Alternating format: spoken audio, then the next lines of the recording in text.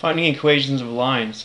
Our goal today is to find equations of lines given various information about the lines and we will be using both slope-intercept form and point-slope form of a line. Find an equation of a line with slope 3 containing the point negative 1, negative 5. Use the slope-intercept equation. Well, remember the slope-intercept equation is y is equal to mx plus b. So essentially we need to find two pieces of information about the line in order to complete the equation of the line. We need to find the slope m and we need to find the y-intercept b. And in this problem they've already given us the slope. Let's go ahead and put that into our linear equation.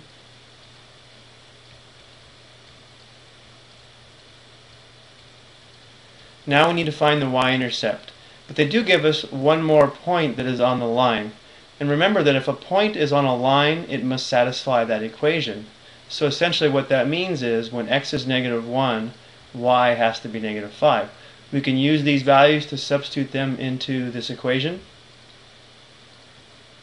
And when we do this, there will only be one unknown, which will allow us to solve for the value of b.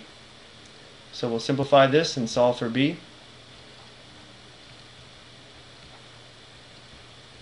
Adding 3 to both sides, b is equal to negative 2. Okay, so we have all the information we need. The equation of this line is y equals 3x minus 2. I could put plus a negative 2 here, but putting minus 2 is more standard. Let's go ahead and take a look at the definition of point slope equation of a line. y minus y1 is equal to m times the quantity x minus x1 where m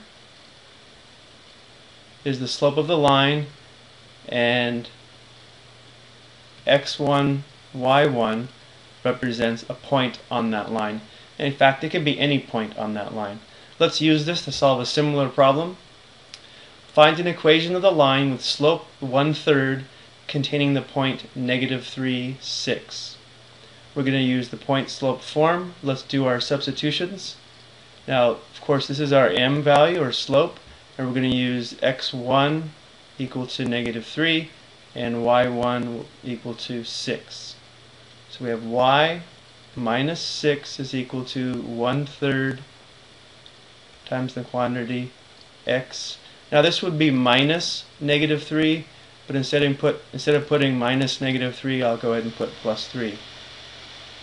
Okay, now if I want to simplify this or put this in slope-intercept form, essentially all I have to do is clear the parentheses and solve for y.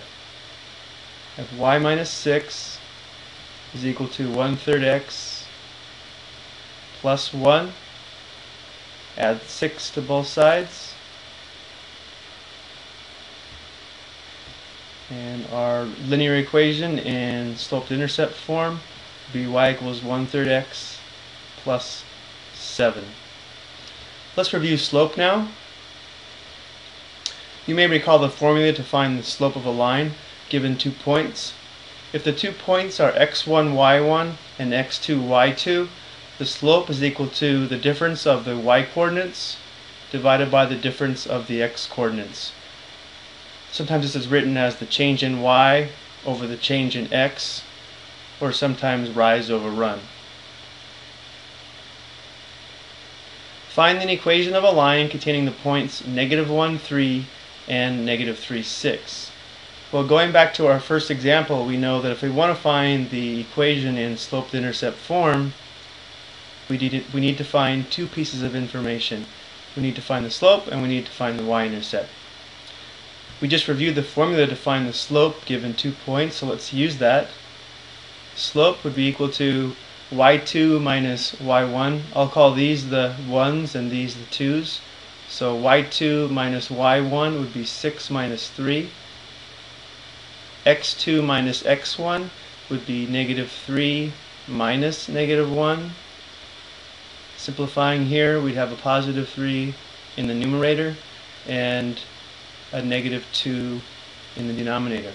So our slope would be negative 3 halves. Let's go ahead and replace m with negative 3 halves.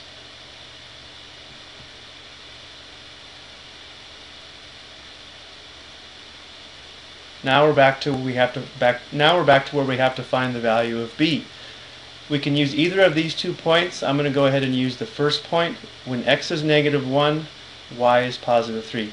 Again, we are allowed to use these points because they're on the line, which means they must satisfy the equation. So when y is 3, the x value must be negative 1. We can solve this for the for we can solve this for b. Should be a positive 3 halves. So subtracting 3 halves on both sides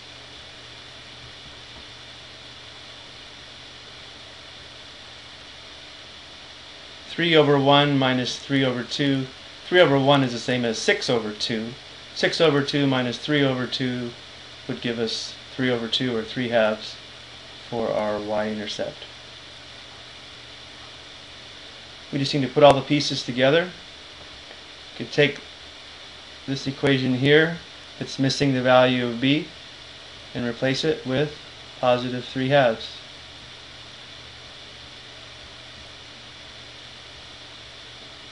I hope that helps review how to find equations of lines. Have a great day.